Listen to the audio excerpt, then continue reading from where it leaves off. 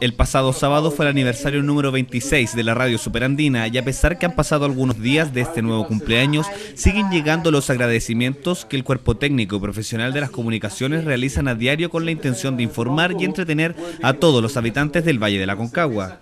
Hasta las dependencias de la radio llegó una carta de gratitud y felicitaciones del presidente de la República, Sebastián Piñera, misiva en la que se explica la trayectoria que tiene este medio de comunicación.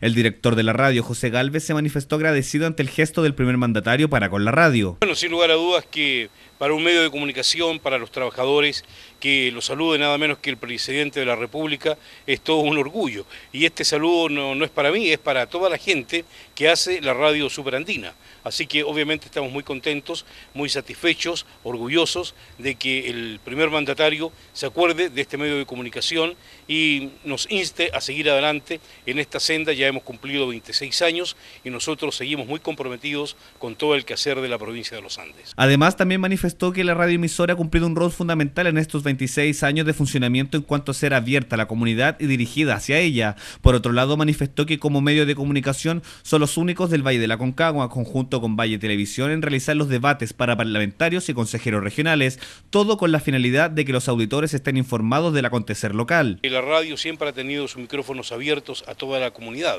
De hecho, en este momento que el país vive una situación política, eh, somos uno de los pocos medios, Radio Superandina, que está realizando debates públicos con la participación de los distintos candidatos. Justamente el próximo jueves, a través de la Radio Superandina y de este canal, vamos a transmitir un debate con los candidatos a Core por la provincia de los Andes. Y en la semana subsiguiente cerramos este ciclo con un segundo debate a través de la Radio Superandina y de Canal 2 con los candidatos a diputados del Distrito 11. Son 26 años de historia que fueron condecorados con las felicitaciones por este nuevo cumpleaños por parte del presidente de la República para este medio de comunicación que está en el corazón de toda la comunidad del Valle de la Concagua.